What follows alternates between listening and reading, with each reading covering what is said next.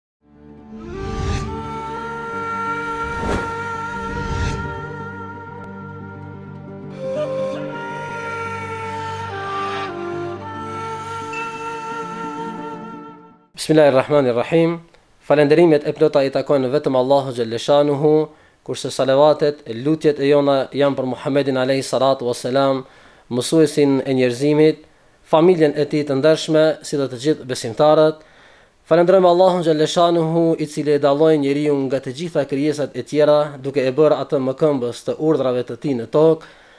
Gjithashtu e falënderojmë Allahun xhalleshanuhu që njeriut i caktoi disa momente të cilat i bëri momente të mëshirës, mirësisë, begatisë. Zoti për të mirën e njeriut caktoi një muaj ku çdo moment i këtij muaji është plot mirësi e begati. Ky është muaji i Ramazanit, është muaji i Kur'anit, muaji i adhurimit, muaji i vetëdijesimit dhe mbi të gjitha ky muaj është një shkollë e cila e ndihmon për ngritjen morale të besimtarit. Islami është shpe, shpallja e fundit të cilën Allahu xhelleshanuhu ia dërgoi Muhammedit a.s. dhe e dërgoi për të gjithë njerëzimin. Pejgamberi a.s. është ai i cili i ka definuar qëllimet e dërgimit të tij. Dhe qëllimin më madhor nga të gjitha këto është ajo të cilën e kuptojmë nga vetë hadithi i Muhammedit a.s. ku ai thotë Innema bu'ithtu li utemmime mekarimel akhlak, Allahu më ka dërguar që t'i përsosi virtytet e larta morale. Adhurimet që i ligjëzoi Allahu xhelleshanuhu në Islam, si namazin, zeqatin, haxhin, agjërimin, nuk janë vetëm rituale e as lëvizje të pakuptimta, porse janë trajnime të cilat e përgatisin njeriun që të pajiset me morale të larta dhe të kapet për këto morale, pa marrë parasysh se çfarë i ndodh atij në jetë. Për namazin, Zoti në Suretun Ankebut thotë, Vërtet, namazi largon nga të shëmtuarit dhe të irrituarit.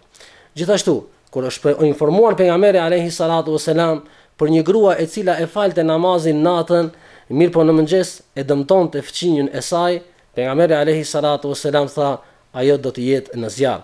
Që do të thotë se realiteti i namazit është pastrimi i shpirtit nga sjelljet dhe vetitë e këqija. Nëse namazi njeriut nuk i sjell dobi në këtë që të përmirësojë sjelljen e tij, atëherë ky njeri nuk e ka përfituar atë që është qëllimi dhe fruti më i rëndësishëm i namazit. Për zeqatin, Allahu xhelleshanuhu në Kur'anin famëlartë thotë një fjalë e mirë dhe një lehtësim që i bëhet lypësit është më e dobishme se sa një lëmoshë e cila përcillet me të keqe. Por tashmë meqenëse ne jemi në muajin e Ramazanit, do të ndalemi tek agjërimi.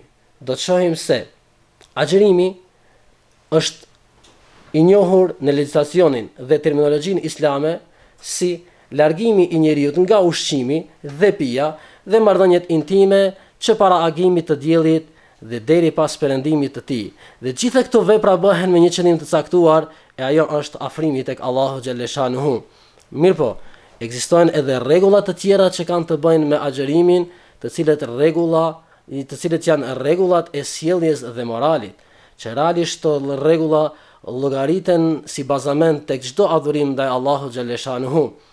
Edhe pse fatkeqësisht sot ndodh që këto rregulla të harrohen apo të neglizhohen nga shumica e njerëzive, prandaj gjejmë njerëz të cilët agjërojnë dhe realisht veprojnë të kundërtën e esencës së agjërimit. Kemi domethënë nervozizëm tek ato njerëz, sjellje e cila nuk është e këndshme dhe në rast se ndodh që dikush atyre njerëzive t'ua tërhekë vërejtjen, ai arsyetohet me atë se jam duke agjëruar. Subhanallah, sikur ky njeri Me agjërimin e tij dëshiron të nxjerrë në shesh të këqijat dhe vetitë e tija të pa pakëndshme, kurse realiteti dhe qëllimi i vërtetë i agjërimit të nderuar vëllezër është se kur njeriu agjëron ai duhet të agjërojë me të gjithë qenien e tij, domethënë në atë moment nuk është vetëm se largimi nga ushqimi dhe nga pija, por se është largimi edhe nga kënaqësitë epshore dhe largimi nga fjalët dhe veprat e këqija. Allahu xhaleshanuhu nuk e ka bërë agjërimin obligim që ne që, që të shohë prej nesh se sa jemi durimtarë dhe jemi të fuqishëm dhe sa jemi në, të durueshëm ndaj ushqimit dhe pijeve. Porse Allahu xhaleshanuhu e ka bërë agjërimin obligim për një qëllim më të madh dhe ajo është edukimi dhe pastrimin e shpirtit të njeriut nga veset e këqija, si dhe e dyta është arritja e devotshmërisë, e cila është respektimi i urdhrave të Allahut dhe Muhammedit alejhi salatu ue selam dhe largimi nga ajo që e ka ndaluar dhe e ka ndaluar e ka ndaluar Allahu dhe Muhammedi alejhi salatu ue selam. Prandaj, këshilla e Muhammedit alejhi salatu ue selam për të gjithë agjëruesit ishte, Ai që nuk i lë fjalët e kota Allahu s'ka nevojë që ai të lënë të ngrënët dhe të pirët. Prandaj, e lus Allahun e Madhëruar që muaji i Ramazanit dhe agjërimi në të të jenë një shkollë për një një shkollë edukimi për ummetin tonë dhe rrugë për ngritjen shpirtërore dhe afrim tek Allahu xhelleshanuhu.